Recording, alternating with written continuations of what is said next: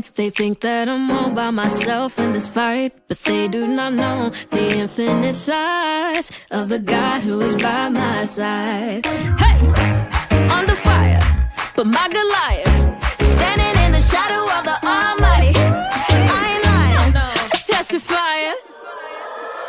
Man, I'm talking about.